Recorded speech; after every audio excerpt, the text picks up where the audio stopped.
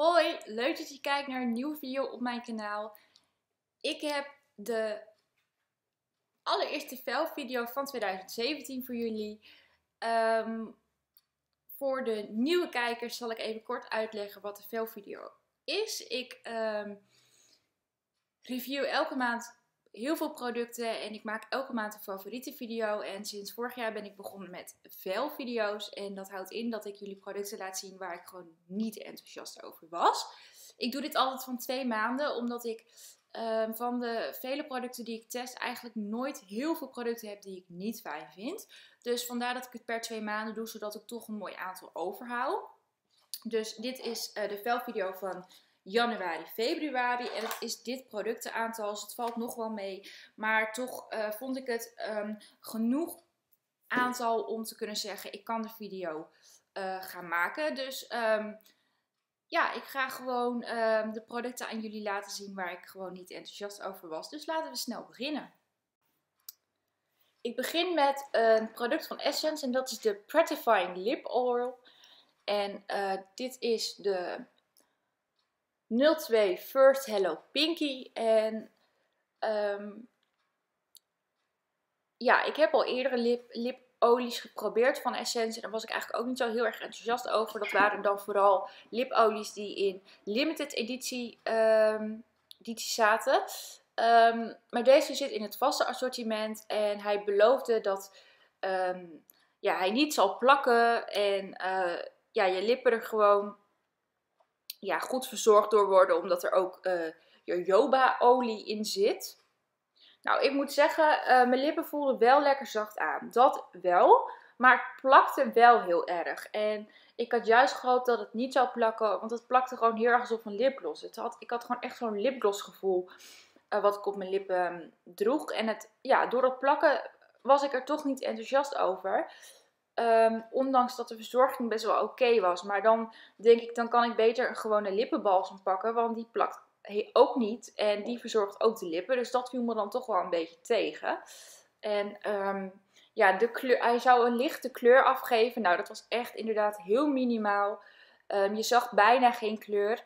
Dus ja, dan lijkt, weet ik ook niet of dat het Um, kijk, voor het flesje ziet het er heel leuk uit, zo gekleurd goedje. Maar um, ja, als het niks doet qua kleurstelling op je lippen, dan vind ik het niet echt een, um, ja, een toevoeging.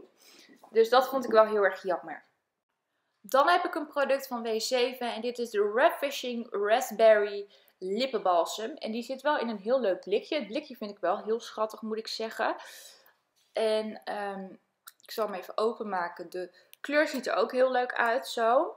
Maar, nou, de geur is niet, is niet echt heel speciaal. Je ruikt hem heel lichtjes, maar het is nou niet bepaald dat ik echt hem heel lekker vind ruiken.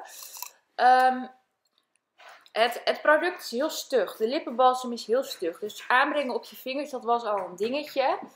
En um, je kreeg dus heel weinig product hiervan af om het op je lip te krijgen. Dus dat vond ik al een beetje tegenvallen. Ook qua verzorging merkte ik heel weinig dat deze uh, lippenbalsem wat voor mijn lippen deed.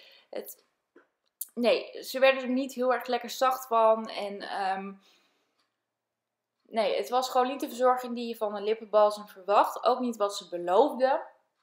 Dus ik vond dat ook heel erg tegenvallen. En nog helemaal als je echt gewoon bijna moet gaan graven om een beetje product op je vingers te krijgen, um, valt dat heel erg tegen. Dus nee, dit, dit was uh, voor mij absoluut geen, um, geen, uh, geen favoriet product. Ik vond hem uh, erg tegenvallen helaas. Dan deze Mono oogschaduw van Essence. Dit is de nummer 4 I'm Blushing. Hij is uit het assortiment uh, gegaan. Ik heb hem op de valreep nog gereviewd. Omdat um, ik zag dat uh, ik nog wat producten had liggen die het assortiment zouden gaan verlaten.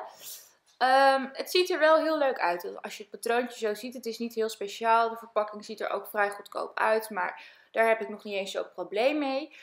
Uh, met swatchen vond ik de kleur heel mooi. Maar bij het aanbrengen op mijn oogleden viel de kleur echt zo in het, in het niet bij, in vergelijking met de swatch die ik had gemaakt. Het was echt zo licht. Het was echt een kleur die je moest opbouwen. En zelfs bij meerdere lagen vond ik niet dat de kleur heel mooi tot zijn uiting kwam. Dus ik vond echt veel te licht. Ik had hier gewoon veel meer pigmentatie van verwacht. Maar helaas, uh, het pigment van deze kleur was gewoon dusdanig slecht dat ik er niet blij van werd. Dan heb ik van Catrice de Prime and Fine Anti-Shine Blur Stick. Dit is eigenlijk een primer in stickvorm. En uh, volgens mij is deze inmiddels ook uit het assortiment. Sorry dat er nog producten bij zitten, maar goed, ik, ja, kan gebeuren. Zo ziet de stick eruit. Je kon hem zo omhoog draaien en dan wordt het gewoon inderdaad echt zo'n stick. Um, hij is heel droog. Misschien kun je het hier ook al wel een beetje zien. Het is echt een hele droge stick. Er zit niet echt heel veel um, ja, zachtheid aan. Het aanbrengen is ook heel lastig, want je moet hem echt zo over je gezicht gaan aanbrengen. Nou ja, dan moet je hem nog gaan uitwrijven eigenlijk. Maar omdat het, omdat het uh, structuur van de stick zo droog is, was het uitwrijven al heel erg moeilijk. En het deed ook gewoon eigenlijk helemaal niks voor mijn gezicht. Je zag gewoon totaal geen verschil of ik nou wel de stick had gebruikt of niet. Um, het enige voordeel was met deze dat je hem zowel over foundation kon gebruiken als eronder. Nou ja, ik kies dan toch altijd uh, onder de foundation, omdat ik dat gewoon van een primer gewend ben. Maar nee, ik vond dit echt geen toevoeging. Dan heb ik echt veel liever een primer in een potje of in een tube die gewoon smeerbaar is. Want uh, dit werkte voor mij in ieder geval sowieso niet. Ook omdat hij beloofde dat je poriën minder zichtbaar zouden zijn en lijntjes. Nou, daar heb ik helemaal niks van gemerkt, want ik, ik zag er echt niet anders uit met het gebruik van deze stick dan anders als ik hem niet gebruik. Dus dat was echt een, een, uh, ja, een misser. Van Essence heb ik dan de Smoky 2-in-1 Cool Liner. En dit is een um, 2-in-1 product. Je kon hem dus gebruiken als eyeliner en als uh, kajal. Dus eigenlijk gewoon op je waterlijn, zeg maar.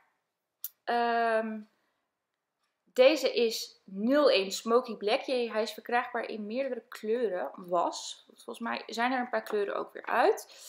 Um, zoals je kan zien is het een vrij zacht product.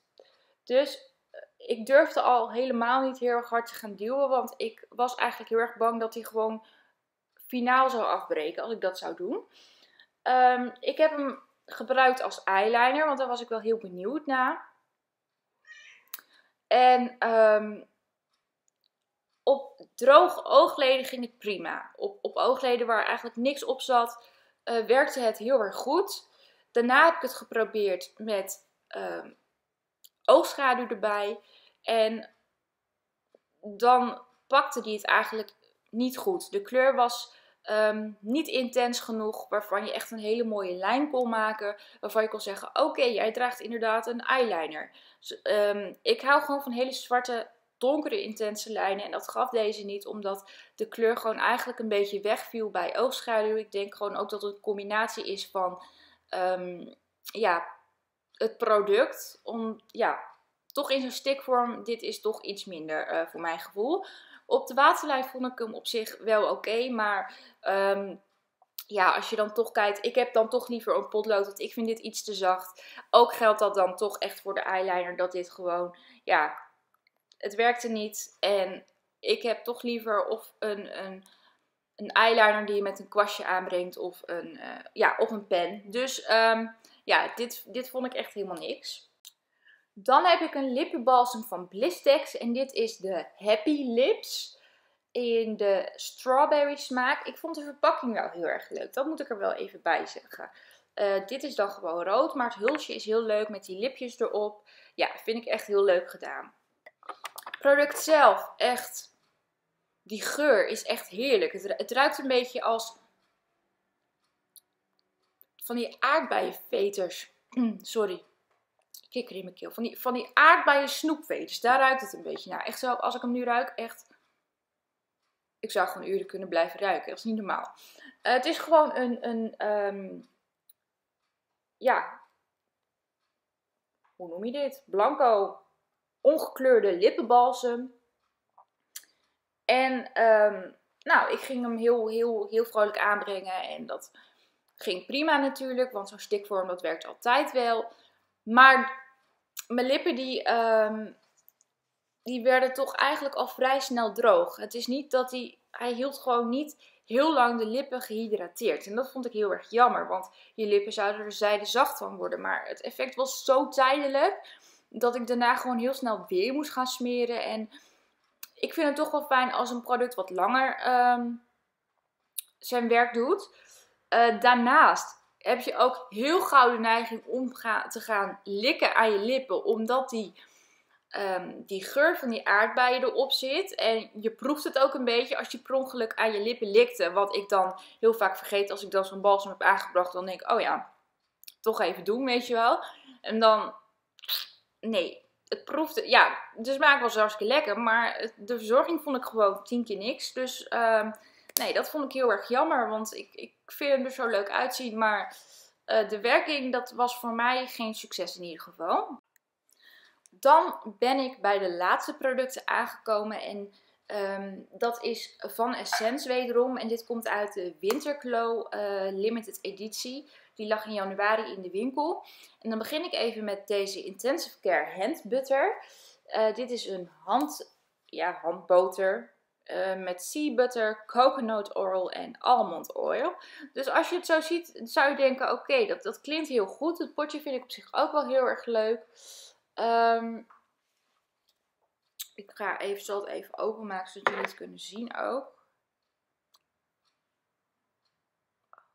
De geur is best wel, wel, wel apart, de combinatie. Ik, uh, ja, op zich vind ik het wel lekker, maar je moet, ik, nee, ik zou het niet uren willen ruiken. Uh, dat even tenzijde. Um, ik ging mijn handen hiermee insmeren en het eerste, ja, eerste contact leek, eigenlijk best wel goed. Um, ja, mijn handen die voelden best wel oké aan. Um, ze waren niet super zacht, maar ik had in ieder geval het gevoel dat ik echt bescherming had aangebracht. maar al gauw werkte, ook, werkte het gewoon uit. Mijn handen die waren daarna gewoon al heel snel dat ik alweer merkte van... Hé, hey, ik had het net nog ingesmeerd en nu voel ik daar helemaal niks meer van. En dat vond ik heel erg jammer, want vooral een handboter die is toch wat vetter dan een, dan een uh, handcrème zou je denken. Dus ik had ook verwacht dat hij gewoon wat langer um, ja, verzorging zou bieden. Maar dat was dus eigenlijk totaal niet. En dat viel me gewoon heel erg tegen. Um, vooral, ja, vind dan heel, heel erg jammer. Want de verpakking ziet er kei leuk uit. Maar het product wat erin zit, ja, ik vond het in ieder geval helemaal niks. Ook uit die collectie kwam de Illuminating Eyeshadow Base. Um, ja, dit is een oogschaduwbasis met een soort highlight kleur. Uh, het zit wel in een ja, vrij klein, gewoon tubetje. Um, vrij kleine opening, dus er komt niet heel veel producten in één keer uit. Dat zag er allemaal goed uit. Um, in eerste instantie dacht ik eigenlijk dat het gewoon een highlighter was. Maar toen zag ik dus dat hij voor, uh, eigenlijk als basis voor de oogschaduw diende. Dus ging ik hem op aanbrengen en met zwasje zag het er echt super goed uit. Uh, bij het aanbrengen zag ik al niet heel erg veel. Ik zag heel licht inderdaad uh, dat hij wat oplichtte.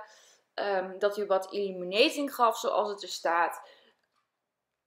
Maar daar zag ik nog niet zo heel erg veel van. Nou goed, dat hoeft op zich nog niet eens zo heel slecht te zijn. Maar um,